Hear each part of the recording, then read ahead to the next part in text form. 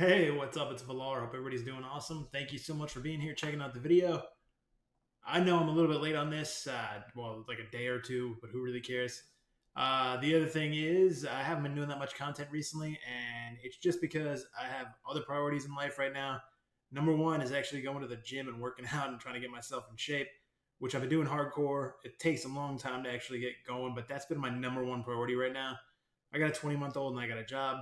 So unfortunately, as this is being a hobby, sometimes I don't get enough time to actually, or I just don't have enough energy to actually record anything later at night. Anyways, the I'd like to try more, but it's really just an issue of not having enough time right now. That's basically it. So subscribe to the channel, make this my full time job. Why don't you just actually like you know pour on on here, get all your friends to subscribe, get your mother to subscribe, your brother to subscribe, your priest to subscribe uh, the local whatever, you know, the, the local Biden chapter, the local Trump chapter, get them all to subscribe to the channel because they need more Valar in their lives. No, I'm just kidding. Anyway, anyway, uh, we're gonna go over this uh, fusion here and give my thoughts on it. It is, and I'm not gonna be, I'm not gonna hold back here. It is a fucking huge shit on all the players. The way Plarium did this by putting all new heroes in here and that's what you have to do for the fusion. I swear there's never been one actually. I could be wrong. I know there's been some shady stuff before where they had Towering Titan or somebody at the end of a I don't remember who it was. In the Foli Fusion, someone was way at the end and they dropped it. They didn't tell you what you needed to get there. They gave you like five days to just grind levels without, or you had to pay a ton of money, right? So this is actually, I do think this is sort of a trap I'm gonna go for him because I'm just kind of like have no other goal in the game right now besides maybe faction wars, and he actually I think might help me in faction wars for Lizardmen. So that's my goal for him. But if I don't get him, I really don't care. So it's not like I'm, I'm not gonna kill myself going for it. And so gem gems, I get a handful. Well, uh, it's not a handful. It's actually a good amount of gems. Like being a content creator, you get like 540 gems. I'm the lower end of the content creator uh, partner program, but we do get 540 gems a week. So that helps out a lot. We have an advantage, which is sort of unfair, but we do get an advantage over people from creating content. We get chickens, gems, all that stuff. So, anyway, once a week. So, anyways, I really, really don't like how this is going. And actually, I sort of had a bad taste in my mouth with Raid recently again. And I know I went for a period of time where I took a month off actually. And that was also timing and I was getting into working out and all that. So that was about like almost three months ago now. It's like two and a half months ago. So, anyways, the thing now though is I sort of started feeling like, and this was right before they announced it, like last week after I did one of these dolphin videos, one of my most recent videos, started feeling like, like I don't really, yeah, faction wars is cool, and I, I go for it. You can get Lydia if you finish it, but who cares? That's what I feel. I can do all the level 20 Ultra Nightmare. I two key it, whatever. And then I can just use key on Nightmare and Brutal and get a get get some extra chests there. So it's like, okay, Doom Tower's not here yet. I don't anticipate we're gonna have it until February 2021. They say it's coming this year, but I've been around long enough to know that's full shit bullshit. Maybe they have intentions of that, and it's just not gonna happen. February 2021. That's when I say it's going to happen. I hope I'm wrong.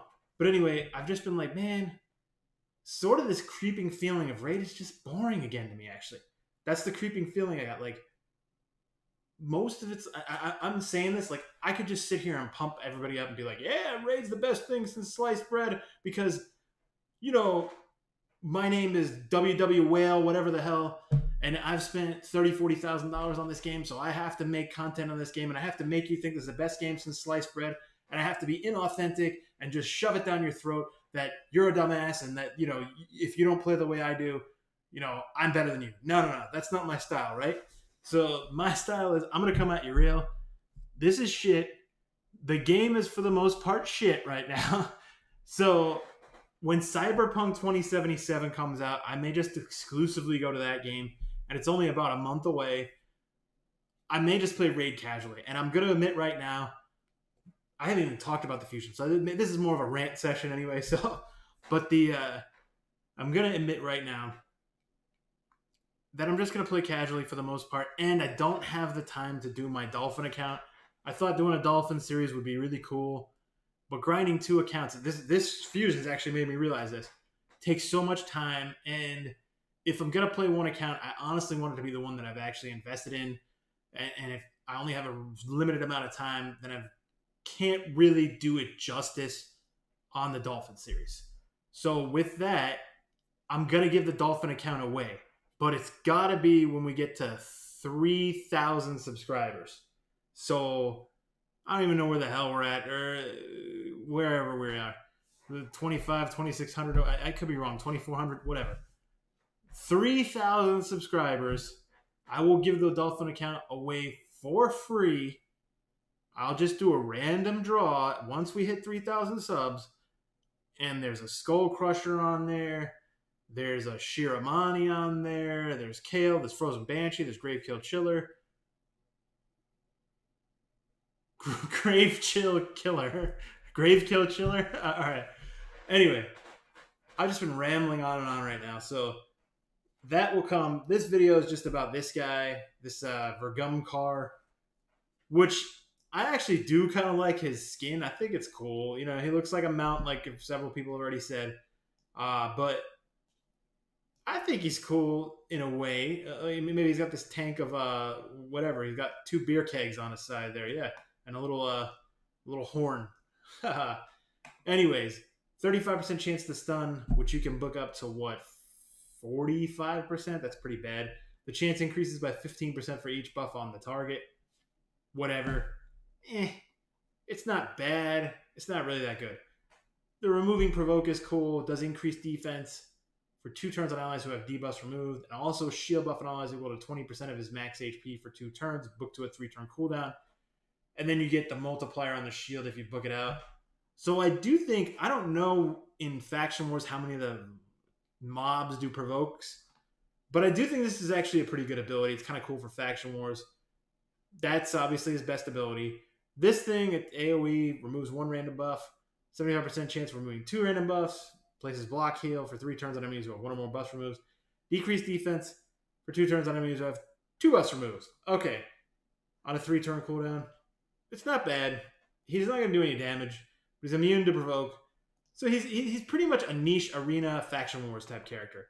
Maybe you can find a dungeon or two to use him in, but he's not going to be that useful because he's really mainly good against mobs and faction wars and PvP provokers like Krisk and things like that. Now the epics in here, they actually look pretty solid like three of the four at least. The void the void epic is like okay. The, the rares are just complete good dog shit trash, and I I I'm just whatever. So the uh, Thane here, Thane looks cool, and if you look at Thane, this model, this yeah, she's a mouse. But the funny thing is, this model they use for orcs, they use for a whole bunch of people. That body model below her head has been used so many times in this game, it's absurd. So the mouse part's cool, but they reskin the shit out of everything. So okay. Um, and I think Kizzle's full of shit, actually, not because of Kizzle. I got nothing against the guy, whatever. I don't even know him at all. So, and he doesn't know who the hell I am either. So, so what I'm saying though is, and this didn't make sense to me either. Kizzle was reading all these reports and doing all this stuff, and I, I'm just putting it out there, right? Okay, they, they could build a new faction quite easily if they wanted to. All they had to do is put a faction in there and they've released enough champions just now to have a big, big ass faction. So who gives a shit if we don't have a new faction? We got flooded with new champions. What the hell's the difference, right? So the uh, and then the other thing too is here's the thing about the CEO.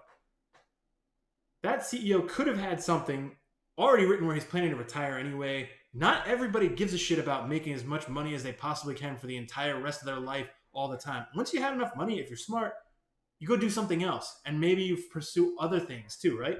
Maybe he had a contract that expired and he didn't want to renew it anyway, and that was known to happen. And apparently, it's the CFO who's the new CEO, right? Do you think the CFO did not have a say in how things used to be previously? Do you really think that? I guarantee you the CFO was actually shoving these things down people's throats more. So we're going to get more of the same shit, higher pack prices. We get $60 prices on gear and all that crap now. I don't buy the gear anyway, but it's 60 bucks now and I'm just ranting my ass off because I'm super pissed off at how this company treats people. and I think it's stupid. And I'm flat out actually not going to spend money on it anymore. I'm done spending any money. So Dolphin is not spending money. This account's not spending money. If I can't get the fusion because of that, I don't care. So it, it's fine. You know what? No big deal. It's just playing for fun, play casual. But the thing that I think was completely missed and was just hyping to get views and everything, which is fine. Why the fuck would they change anything if it's making them that much money and actually like taking it off that far? Yes, they want to scale it, but what does that mean? They want to actually do things more to make more money. Why? Because they know we're fucking addicts. That's why. Think for yourself. The only way to get out of this shit is realize they do this crap to target your freaking brain. They know what they're doing. I guarantee you they actually have like psychologists and shit that make all these colors that trigger your brain to spend money. I 100% guarantee it. Anyway, that's uh wow, I really got off on a tangent there. So you, you, you all right, whatever. So anyway, she's cool. She got meter steel here. Poison and decreased attack, which is sick. Three hitter that does decreased defense and weaken. So the fun thing is, I actually feel like I do want to actually build some of these to showcase them for fun if I can get them. Two hitter, turn meter fill, does decrease turn meter too. Another two hitter, but places a shield based off the damage. And I like this guy's skills because he's based off of HP. Now his HP is not that high, but his skills are all based off of HP.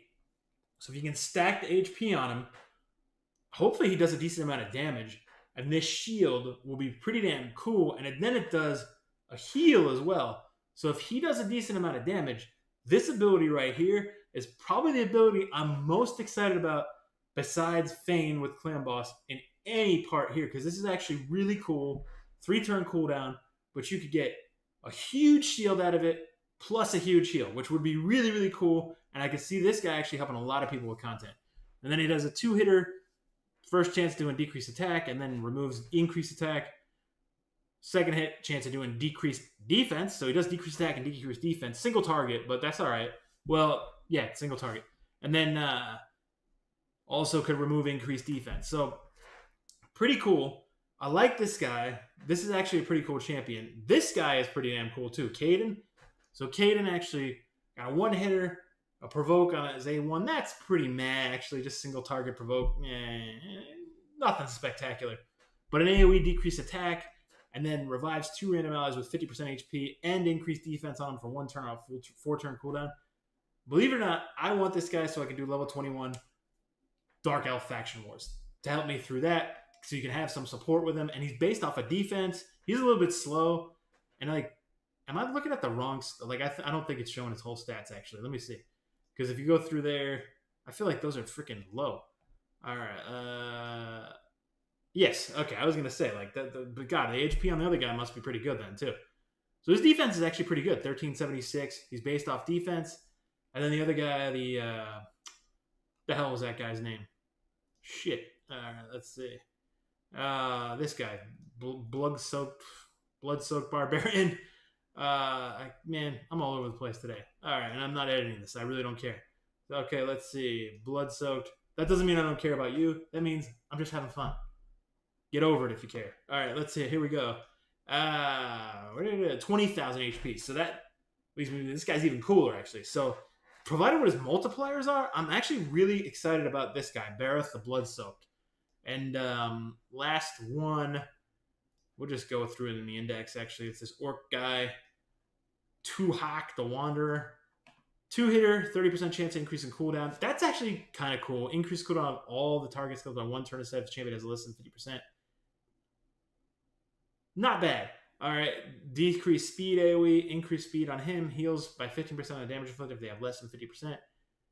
He feels a little bit nichey too. Steals turn meter, does a stun, steals 100% if he has less than 50% HP decreases the damage taken by his champion by 20% when their HP drops below 60. The problem is he has no defense. He has okay HP. He's an attack based champion. So I don't know if his survivability is going to be that good because I feel like some of that, I don't know, I could be wrong. but I feel like he's not gonna be. He's gonna just gonna be okay. I, I'm I'm not that excited about this guy, and I could be wrong there. But the other guy, Tuhak, how many these fucking names? Baroth the Blood. That guy is actually all right, kind of cool. So I'm gonna leave it at that because I've been on just complete ramble fest right now. I'm gonna try to do some new content, but I got to admit right now, I'm not that excited about Raid Shadow Legends. So I'm just being honest. I am gonna do the account giveaway at 3,000 subs on the Dolphin account because I just plain old don't have time for it. So please do me a favor, like and subscribe. Thank you so much for checking out the video. I will be back soon with another video. Cheers.